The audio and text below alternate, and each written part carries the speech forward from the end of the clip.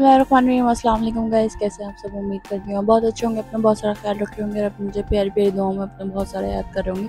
आज मैं बनाने लगी हूँ chicken chilli dry with fried rice और मेरे बेटे को तो ये बहुत ज़्यादा पसंद है और मियाँ जी को तो अलग ही पसंद है और पर्सनली मेरी भी बहुत फेवरेट है। तो मैं यहाँ पर जो है वो मैंने तकरीबन आधा किलो जो है वो बोनलेस चेस्ट लिया है। चिकन का और उसको जूलियन कट में मैं काट रही हूँ। आपने बिल्कुल जो है वो थिन स्लाइसेस में आपने इसको काटना है। काटने के बाद एक बाउल में आपने इसको ले लेना है। उसके बाद one tablespoon salt one tablespoon इसमें मैंने black salt one tablespoon मैंने इसमें काली मिर्च और एक अंडा मैंने अच्छी तरीके से फेंट के इसमें डाल दिया था और दो टेबल स्पून मैंने इसमें डाला है मैदा। मैदा डालने के बाद मैंने यहाँ पे अच्छा खासा जो है वो ऑयल अच्छी तरीके से गर्म कर लिया था। गर्म करने के बाद मैंने इसमें चिकन जो हमने मैरिनेट करी थी, उसको रख दिया था। मैं, आपने चिकन जो है वो 15 मिनट्स तक मैरिनेट करके रखना है, उसके बाद आपने ऑयल में डालना है। उसके बाद आपने ये तकरीबन 15 मिनट्स आपको इसको ऑयल के अंदर लगेंगे, इसको फ्राई होने में। और आपने इसको तब तक फ्राई करना है जब तक इसका कलर चेंज ना हो जाए।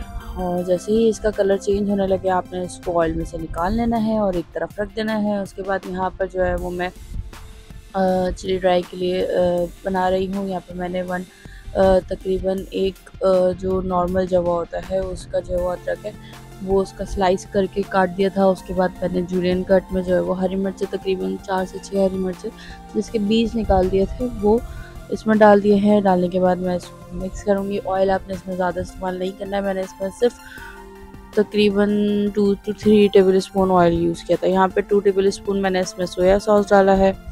सोया सॉस डालने के बाद मैं इसमें जो है वो तकरीबन two tablespoon chilli garlic sauce डाल रही हूँ।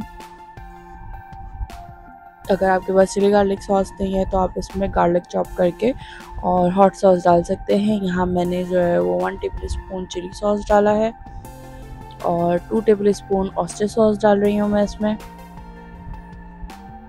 ऑस्टर सॉस आपने ज़्यादा नहीं डालना है, क्योंकि वो ज़्यादा हो जाता है तो उसकी जो है वो स्मेल और उसका जो टेस्ट है वो अलग ही होना शुरू हो जाता है। यहाँ पर मैं इसको मिक्स करने लगी हूँ। मिक्स करने में आपको ये है कि आप इसको अच्छे से मिक्स करेंगे ताकि इसका जो टमाटो जो आपने इसमें डाला है चिली गार्लिक पेस्ट जो डाला है, उसका जो पानी है वो उसका वाटर रेजिस्टेंस जो है वो कम कर देगी। उसके बाद आपने जो है वो जाके, जल्दी से जाके मेरा जो है वो चैनल सब्सक्राइब कर देना अगर आप पहली दफ़ा मेरी वीडियो देख रहे हैं तो प्लीज़ मेरी वीडियो को लाइक शेयर सब्सक्राइब ज़रूर कीजिए आपकी बहन को सपोर्ट करने के लिए। बहुत बहुत शुक्रिया आप सबका।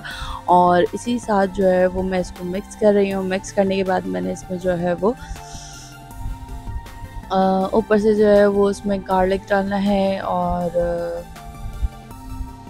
अभी तो फ़िलहाल उसको हमने पकने छोड़ देना है। जब तक दस मिनट तक होने के बाद इसमें मैंने हल्का सा जो है वो तिल यूज़ किए हैं। तिल ज़्यादा नहीं डालना अपने तकरीबन वन टेबल स्पून के करीब इसमें तिल डालने थे।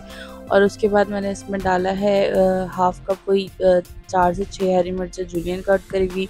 और हाफ़ कप जो है वो जिंजर कट किया हुआ, यानी अदरक। और उसके बाद मैंने इसमें जो है वो टू टेबल स्पून के करीब हरा प्याज इस्तेमाल करना है। हरा प्याज हम बाद में इसलिए डालते हैं क्योंकि जब आप पहले से डाल देते हैं तो वो बिल्कुल नरम हो जाती है और उसका टेस्ट अलग चेंज हो जाता है। तो हमने हरे प्याज को जो है और ज़्यादा, बहुत ज़्यादा पकाना नहीं है।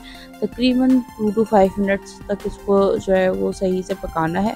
उसके बाद ये रेडी हो चुका है। यहाँ पर हम फ्राइड राइस बना रहे हैं। फ्राइड राइस के लिए मैंने यहाँ तीन टेबल स्पून ऑयल लिया था। ऑयल लेने के बाद मैंने यहाँ पे जो है वो दो अंडे फेंट के अच्छे से इसको विस्क करके मैं इसमें डाल दिया था। डालने के बाद मैं इसको अपने ऑमलेट टाइप से बना लेते हैं, जो बस नॉर्मल सा ना।